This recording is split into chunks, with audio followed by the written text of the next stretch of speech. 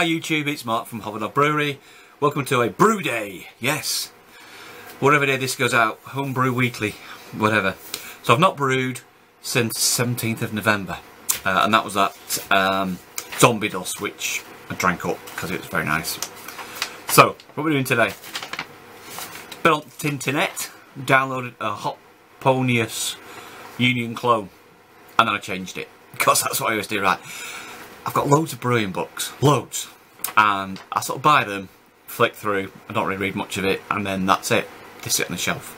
Loads of recipes. In fact, I've got an e-book somewhere, and that's got something that's like 500 recipes in. I'll have to dig that out and have a look. Anyway, I'm doing all my, all my beers right are all really hoppy, and I thought I want to make a sort of traditional British bitter. You know, not really bitter, just a bit more malty um, a bit more probably thicker thicker bodied. So I, I, expressed my desire to brew this to Mrs Hoverdog and she went great a boring beer then. So what I'm going to do today is brew this Optimus thing. Hoponius Optimus. I keep thinking Optimus Prime. No no that's, that's a different beer right? That's not this one. So it says Hoponius uh, Union clone but it's it's not because it's actually a lager uh, style of beer. So I'm just going to change it and I've, I've, changed it a bit. Put simply, it's going to be pale malt, some Munich, uh, some crystal or uh, caramel malts. I've not decided what to use yet. I'll just find what I've got, throw it in. And then bittering wise, my favourite Magnum because it's nice and cheapish and works very well. Uh, and then Centennial. Uh, there's a Whirlpool with Citra, and then there is some dry hop, dry hops with Centennial and Citra quite a lot actually. Uh, even flame outs, 35 grams of Citra. And then uh, the dry hopping is 26 each of Centennial and Citra. Dry up for seven days, so that's going to be a really in your face uh, beer, isn't it? Um, IBUs, I can't remember what it was now, but it's 60 something, I think. Like, wow. So, yeah, let's see what it comes out like. Strike water's on. Uh, just heating up on the old uh, small pot, small batch again, not the big one like I promised, big brewery, small batch. So yeah, uh, that's it. Last thing, yeast. Because this is a lager style, it used a liquid yeast and I'm not using that. Uh, I've swapped it for a, an ale recipe design. So I'm going to use either, I thought US-05, but I want to try different yeast. So it comes out with, so I've got the Cross Mahaluf, uh, yeast, which is the um, US Pale Ale. So I'm going to try that because it is a pale. There's a bit of crystal in, but it's going to be pretty pale. I think, yeah. So I've not actually tried one of these before. First time. So it comes out. Right. Strike water's on. So it'll be one of them crappy brew days where I just do the same thing every time. Trim the recipe. I'll try and be clever and stick that in like a document you can read if I remember, which I probably won't.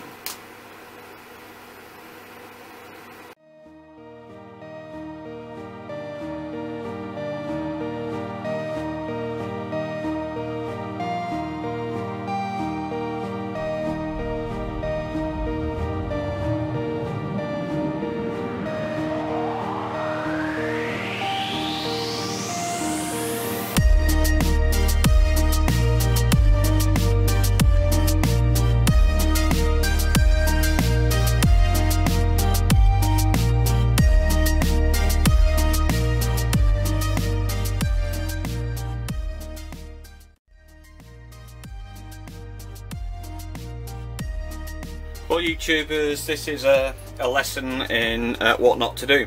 Um, uh, to keep the grains at the right temperature in this quite cool shed, uh, I left the induction heater on, uh, on position 1 um, which was actually just keeping the temperature with the lid off. So uh, I put the lid on, okay, just to keep the temperature in, but I left it on P1 now I went away for a few minutes which just turned out to be half an hour and I've come back and the bag was all bloated up inside. I put the temperature sensor on and the thermometer and it said 96 so basically it was uh, literally boiling so I pretty just wrecked all these grains uh, I don't know, I might just uh, let it cool down um, and then leave it like this for mashing in. I don't know what to do. Um, yeah, so I might have to start a brew day. I've got enough grains, but yeah, what not to do. Okay, so you can see I've screwed up. Listen to everyone. Keep your eye on your mash. So, Googled it, looked into the homebrew forums and some people say it'd be fine. Uh, it won't be scorched because it's in the pot. You know, it's not going to be that bad. The grains are looking a bit darker than they were. I don't think it's, it's caused any major damage, but of course the higher mash temps will result in lots more unfermentable sugars. Um, so what I'm going to end up with is probably a multi beer of low ABV. You really don't know at this point what it's going to be like until you've fermented it out. So what I'm going to do is I'm going to risk it. I've got the temps down to 67. These grains are quite cool. I'm going to throw these in, okay? So the mash originally should be 70 degrees before you, you dough in. So I'm going to throw in another 430 grams of Maris Otter. Um, the is fine with that, what's in there now, and I just make it higher. Well, you know, no big deal is it, just be uh, a bit more alcoholic. So yeah, we're at 67.3. Just stir it up, it'll come down a little bit. So what I'm going to do now is uh, throw this in and then continue the brew day. So you'll have to find out in three weeks' time if I've wasted some money and time or whether it's the best beer I've ever made. I sound like Electro Broom, Electro Boom with his full bridge rectifier. Go look at him on YouTube, he's a great guy. Get on with this. Well, we're half an hour in. Still holding at 65. So, uh, yeah, quite good. I'm happy with that. It did say to, uh, and I, I, messed this up from day one, from start. I just sort of, don't know, wasn't prepared. So, uh, it actually says to mash in here at 70.6. Of course, I looked at it and went, oh, look, 64.4. So I'm a dick. Right, anyway. So uh, yeah, we, we got to like 80 or 90 something for 95 even, so that's like, you know, it's not going to be right, is it? Um, so no, it's been in for a while, half an hour, it's now uh, holding at 65-ish, so it's pretty good. Um, just to the next step, add a bit more water at boiling water. Hmm? Uh, yeah, 99.9, so boiling water. Hmm, right, so it's just step mash, five minute step mash. So I'm not doing the 90, well actually I'm probably doing the 90 minutes because I'm going to do for uh, another 30, so uh, yeah. So there you go, I messed up and I've sort of come back and I hope it's alright. Yeah, where's it focusing this? Um, so what I'll do now, I'll get the Magnum out. Now my eyes aren't focusing, so the cameras are not. Magnum, Centennial and some Citra. Let's get the hops out. Okay, gonna add some sparge water. So I've got the big pot. Oh, oh gosh, that's huge. To the vicar. None to the vicar. Get it right, mate. Right, stick this on to. Uh... Oh, it still thinks it's hot. Right, come on. So this is the sparge water going on. Right. Destructions. Destructions. So this should be 75.6 75.6 75.6 and it's currently a lot lower just mark the house. It's 48 50 9 49 so what we'll do we'll heat up the sparge water now and then we'll uh, yeah. Stick it one big pot now. I've already added a bit more water because I added more grains. So it just says to uh, put the water in, 7 litres, I've got 10 in here, and uh, bring the water up to 14.2, ready for the boil. So uh, we're just going to heat this up, so uh, back in a minute.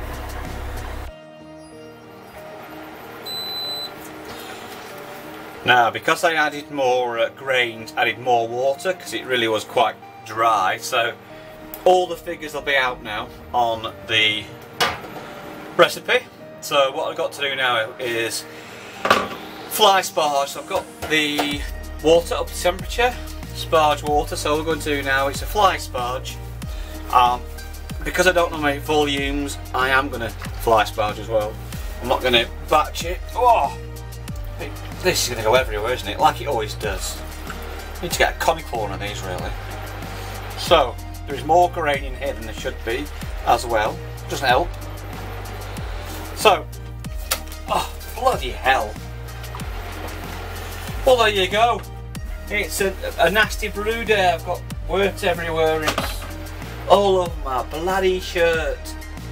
So, oh, bloody hell. Oh, bloody hell.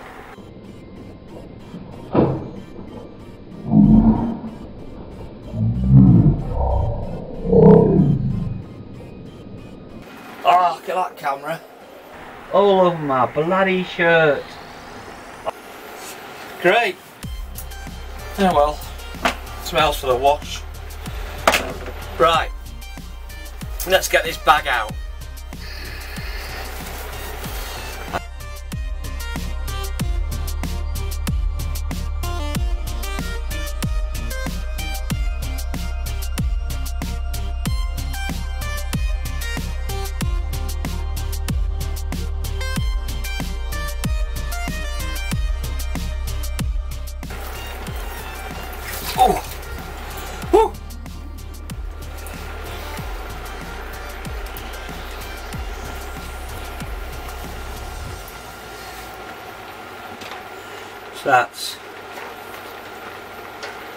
12. 12.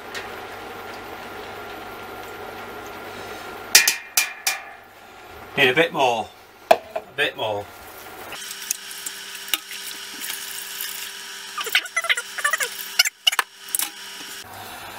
Well YouTubers, that was a mess. It's all down my shirt, as you can see. Yeah, it's all down my shirt.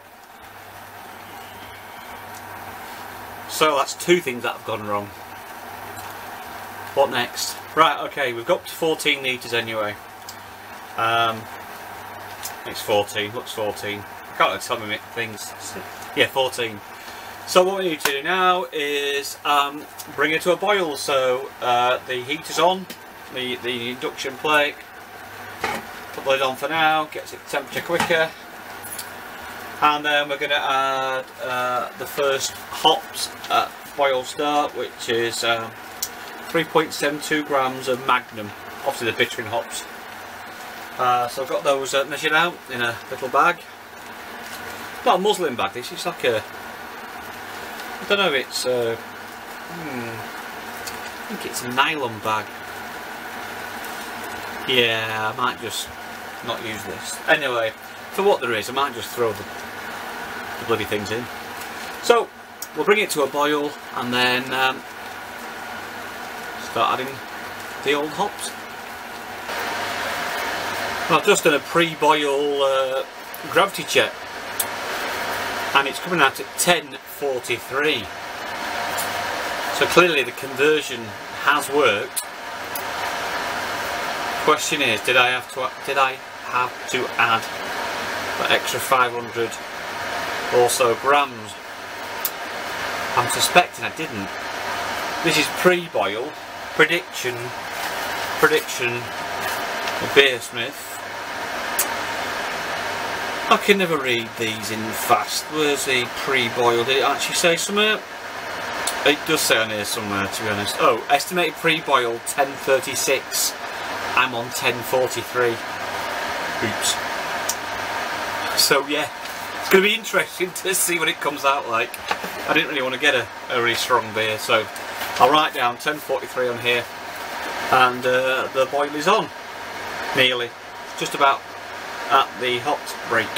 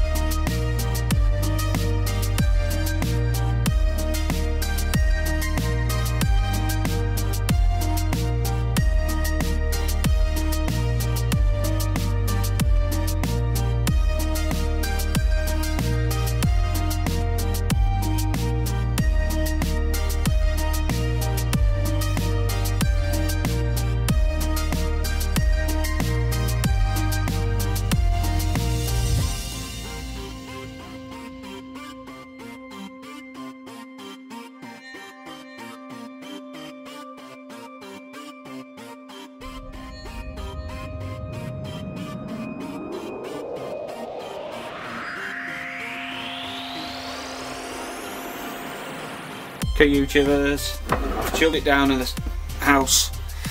Oh, added a bit more water to the volumes that BeerSmith told me to. So let's just get it into this fermenter now. There will be some hoppage floating around in here. I'm not filtering it today. I've done me filter it. I'll just try and be careful at the end. You can see there's a lot of debris now.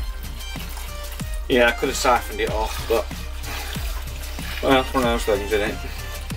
So I've uh, star sand the fermenter. Just see all the hops in here. It's gonna not ideal today.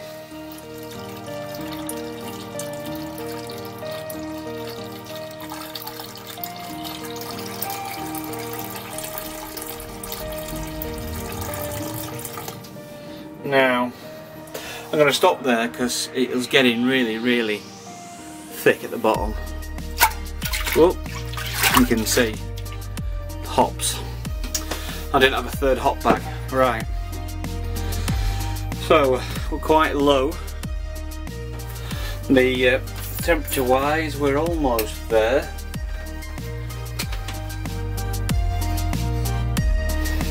So, we on?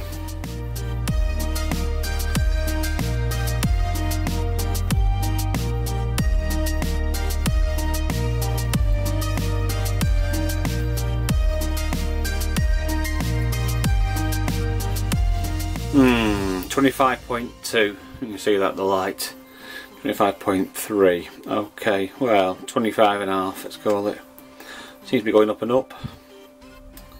Okay, so what I'm going to do is going to leave it an hour, come back and I'll pitch the yeast. Um, I'm not going to show that on camera. Um, I'll be using the uh, Crossmyloof US Pale Yeast today. Um, instructions, 5 gallon, well I'm actually not using that. Rehydrating a cup of sterilised, yeah I'm not doing that either uh, aerated, yeah it's been aerated. Doesn't actually say what to pitch the temperature, oh, fermenting 18 to 25, so it's about right. Give it another sort of 10 minutes or so and that'll be down, I can pitch it. Well, another brew day over. Um, it's come out really high actually, I was surprised. So the, the screwed up mash didn't seem to have affected it.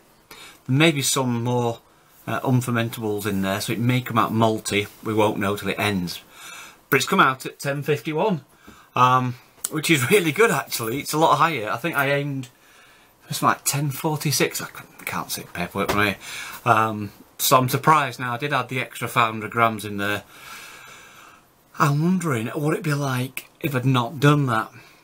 But hey, it sounds alright. 10.51.